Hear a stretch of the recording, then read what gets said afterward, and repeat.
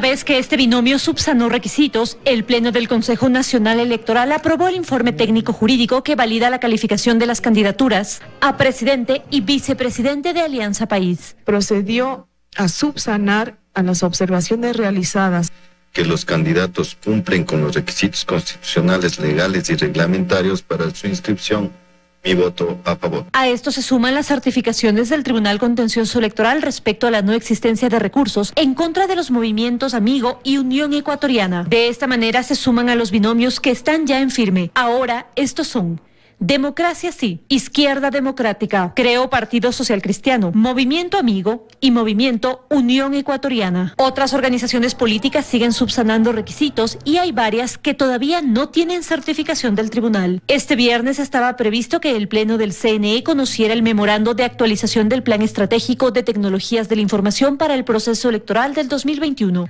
Así constaba en el orden del día. Sin embargo, la consejera Estela Acero pidió no tratarlo. Sugiero que se saque del orden del día este punto.